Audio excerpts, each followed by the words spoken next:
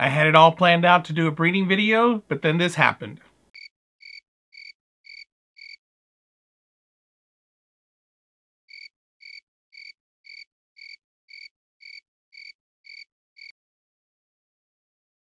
Get away from me with those cheap moves. I got a headache. So I'm doing a species showcase.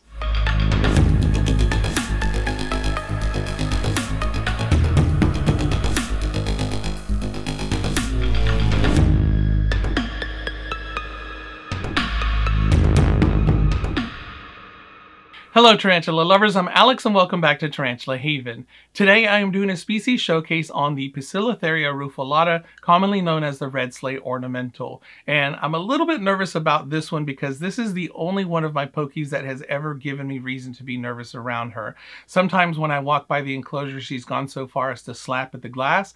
There have been times when she has given me threat postures when I open up her enclosure and she's even lunged at me a couple of times when I've gone in there to remove a dead plant or her water dish. And of course, I always use tongs around her because I would hate for her to do that with my hand in there. So she's given me reason to be nervous around her. I don't know how she's going to react when I pull her out. A lot of times they tend to chill out as far as the tarantulas that I do pull out. Um, when they get on that cork bark, they're a little bit nervous and just sit still and want to disappear but I don't know how she's going to behave because she does have a tendency to be a little bit high strung. And the reason that I'm doing the species showcase is because I have to rehouse her. She's currently in an Exo Terra nanotall and I'm moving her into a Zoo Med medium tall, I think it's called, which is the equivalent of an Exo Terra uh, mini tall. So that should give her plenty of space to stretch out and grow and it should be her forever home. So I wonder how she's going to do when I pull her out. Here's hoping that she does well and she likes her new enclosure. So let's go ahead and get on into it. Poecilotheria rufilata, commonly known as the red slate ornamental.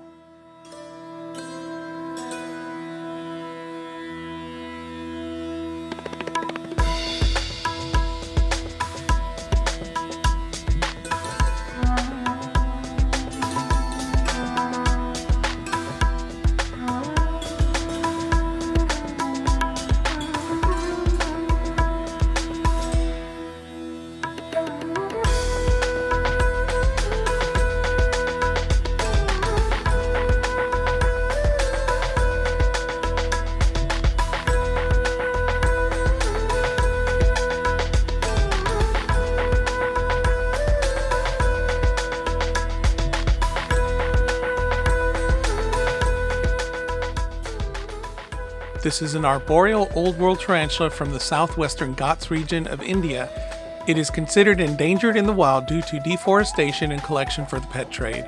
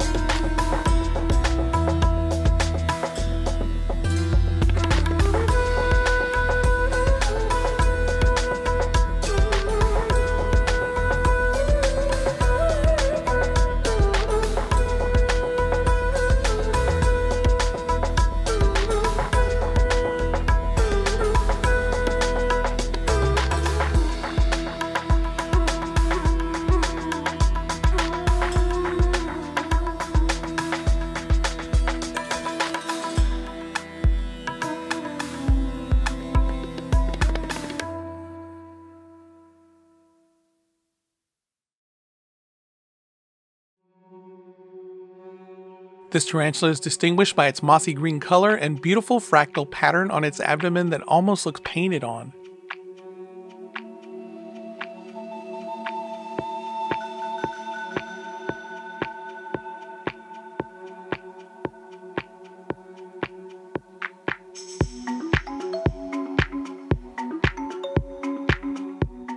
It is the largest of the Poecilotheria genus along with Poecilotheria ornata.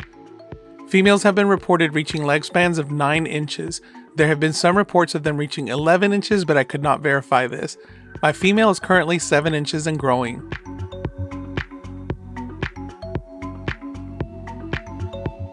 This is a fast growing species. Mine grew to about 3 inches in its first year and has reached her current 7 inch leg span in 3 years. Females can live 11 to 12 years while males only live 2 to 3.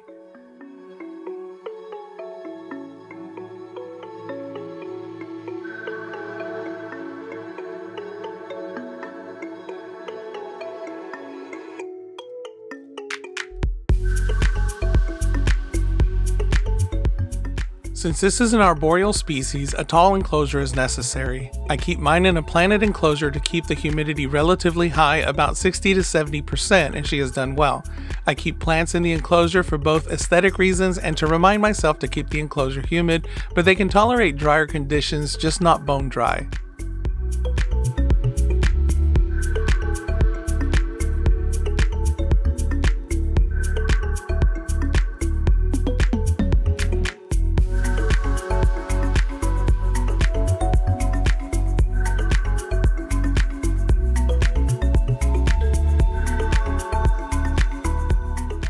Mine started out as a communal of five and they lived together without incident for a year before I decided to separate them. I still have three females remaining and the other two have since matured male and passed.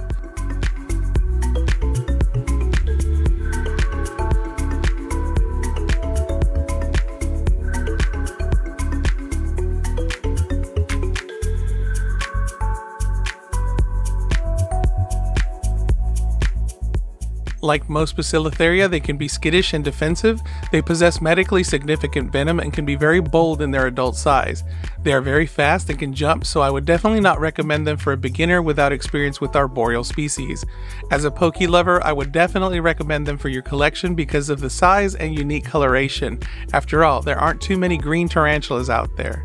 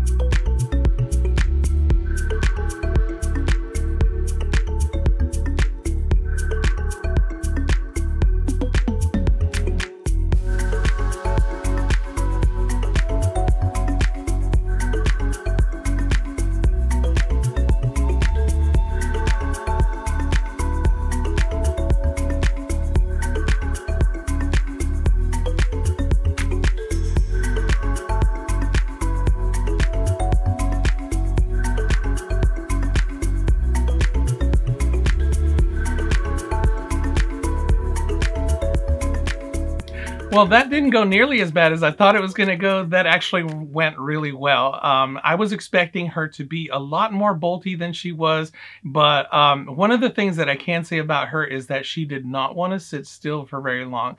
There was a couple of times when I got her to sit still long enough to get some decent footage, and I even got a couple of photographs, but not many. And that's because she kept wanting to walk and go underneath the cork bark because she did not like the lights at all.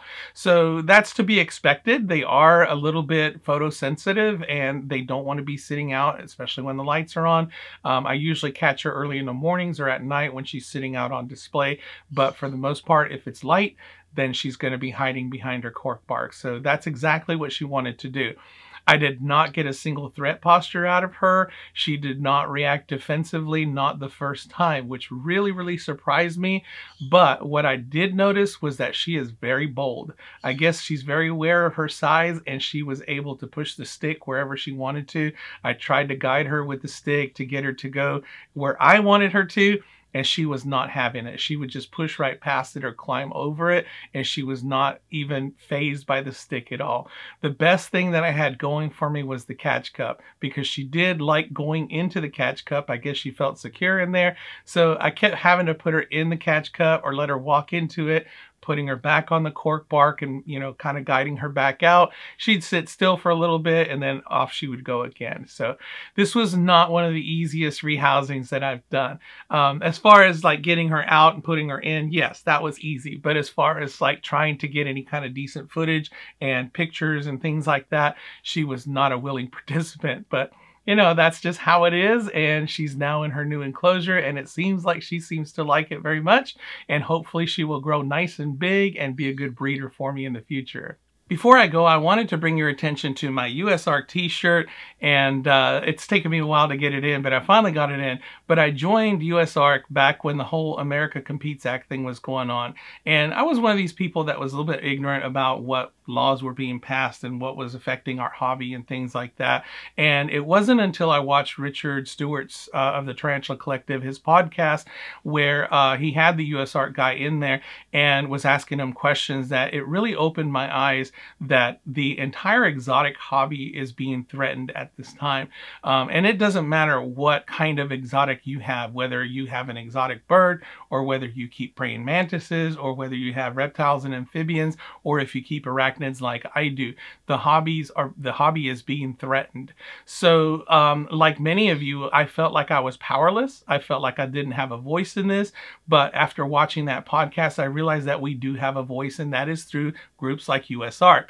USARK will go to bat for you and they will express their concerns to these politicians that are trying to pass these laws and so on and try to influence them to not vote in that direction. So um, if you are like me and you feel like you don't have a voice in it, then definitely check out USARK. If you go to their website, they do have a donation button where you can donate a certain amount of money, but it always works best if you join their ranks and show your support by that method because that gives them influence over those politicians because they can say this is how many people we have backing us. So please definitely check out USARK and consider joining them. And um, right now, if you shop at Fear Not Tarantulas, Fear Not Tarantulas is offering you a 10% discount if you join USARK and show them proof of membership. So definitely consider it. Um, your hobby is being threatened if you are involved in any way, shape, or or form if you live in the United States. So definitely look into it so that you too can have a voice. And that does it for me today. I hope you enjoyed it. If you did, please give me a like. If you want to see more, subscribe. If you want to support this channel, I have a Teespring store where I sell Tarantula Haven merchandise. Thank you so much to my Patreon supporters. Your support is greatly appreciated. And if you'd like to become a patron yourself, there's a link down below in the description, as well as all the others. Take a look at USARK, and as always, keep loving them tarantulas.